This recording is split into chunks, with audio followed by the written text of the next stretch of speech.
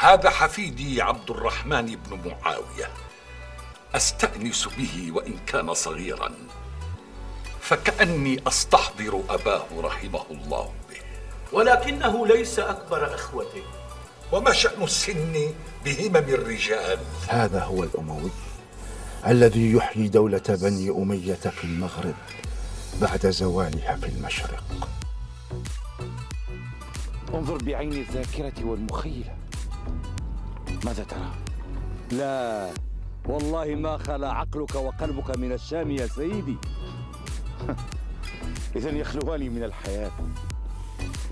نسيتني نفسي إن نسيت الشام يوما.